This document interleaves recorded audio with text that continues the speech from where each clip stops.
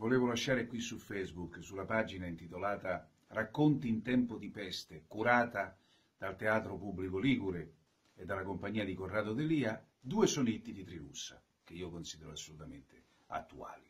Uno si intitola La guerra e l'altro La stretta de mano.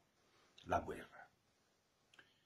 Nel meglio che un soldato andava in guerra, il cavallo gli disse chiaramente «Io non ce vengo» e lo buttò per terra, precipitosamente. «No, non ce vengo», disse e mi ribello all'uomo che t'ha messo l'odio in core e te commanna di scannare un fratello in nome del Signore. Io, dice, sono una bestia troppo nobile. Passocià a me, alle infamie che fai tu. Se vuoi la guerra, pace in automobile.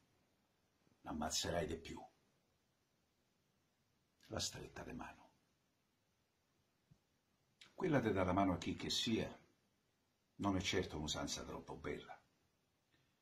Te può succedere che la strigna quella d'un ladro, d'un ruffiano o d'una spia. De più, la mano asciutta o sudarella, quando ha toccato qualche porcheria, contiene il bacillo d'una malattia che t'entra in bocca e va nelle budella. Invece, a salutare romanamente, se guadagna un tanto con l'igiene e poi non c'è pericolo di niente, perché la mossa te vi a dire in sostanza, siamo amiconi, se volemo bene, ma restiamo a una debita distanza.